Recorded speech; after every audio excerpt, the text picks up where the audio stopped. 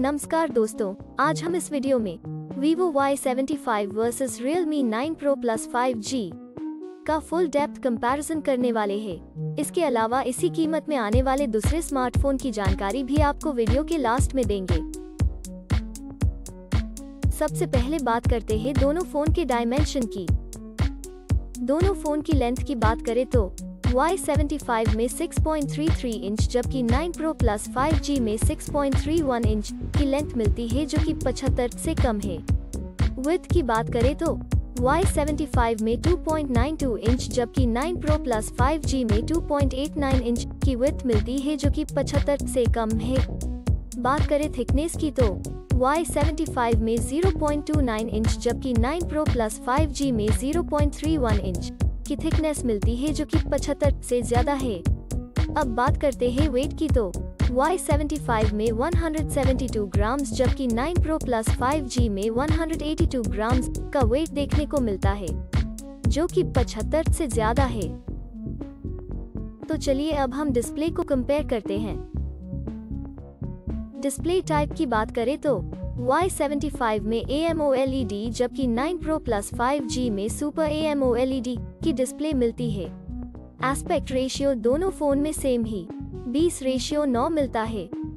Display size की बात करें तो Y75 में 6.44 इंचेस जबकि 9 Pro Plus 5G में 6.4 इंचेस मिलती है। डिस्प्ले रेजोल्यूशन दोनों फ़ोन में सेम ही। 1080 बाई 2400 मिलता है। Screen to body ratio Y75 में तिरासी दशमलव नौ दो प्रतिशत, जबकि 9 Pro Plus 5G में चौरासी दशमलव दो एक प्रतिशत मिलता है।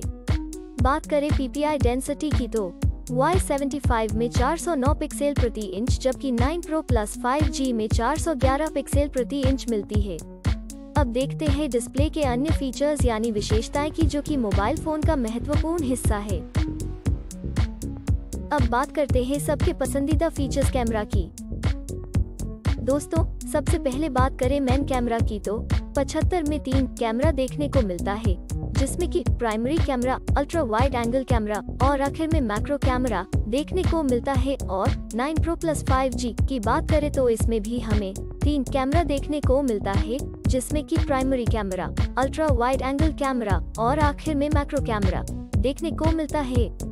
बात करें वीडियो कैमरा की तो Y75 में सात डिफरेंट टाइप के फीचर्स मिल जाते हैं।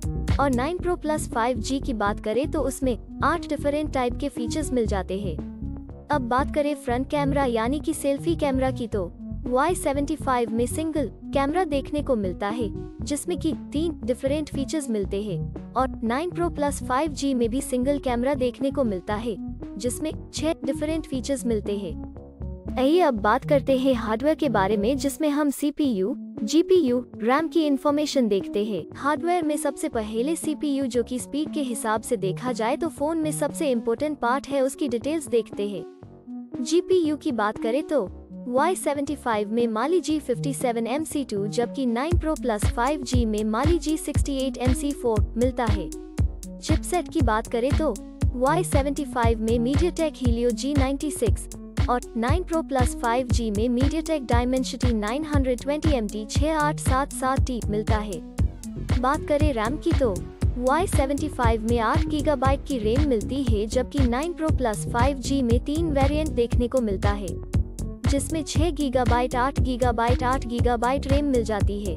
बात करें इंटरनल मेमोरी जिसको हम स्टोरेज भी कहते हैं वो Y75 में 128 गीगाबाइट की स्टोरेज मिलती है, जबकि 9 Pro Plus 5G में तीन वेरिएंट देखने को मिलता है, जिसमें 128 गीगाबाइट 128 गीगाबाइट 256 गीगाबाइट स्टोरेज मिल जाती है।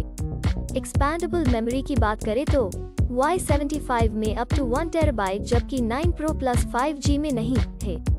ऑपरेटिंग सिस्टम दोनों फ़ोन में, Android V12 देखने को मिलती है। बैटरी Y75 में 4050 mAh जबकि 9 Pro Plus 5G में 4500 mAh देखने को मिलती है। आइए अब मेन फीचर को देखते हैं।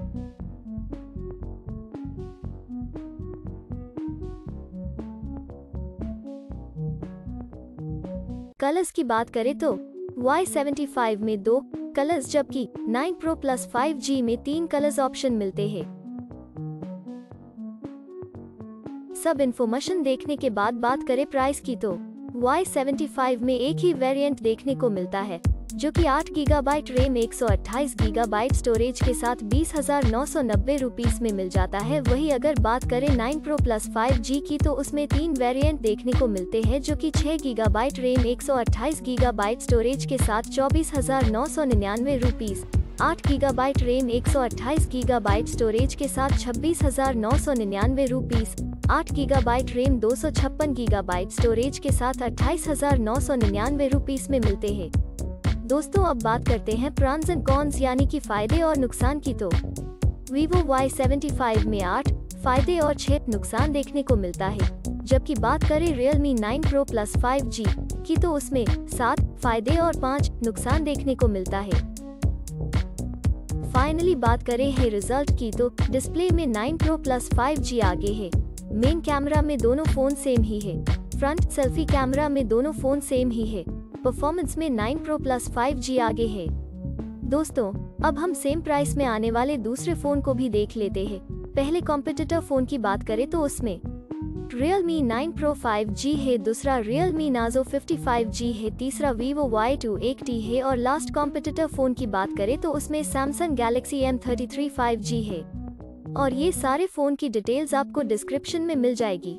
दोस्तों, अगर आपको ये वीडियो अच्छा लगा है या आपके किसी भी काम में आया है तो प्लीज़ लाइक करना मत भूलना।